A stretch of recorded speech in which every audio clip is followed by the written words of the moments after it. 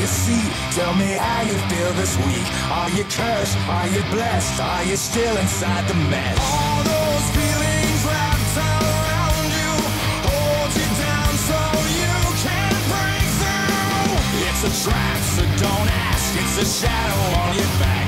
It don't burn, it don't bleed, still it cuts you at the knee.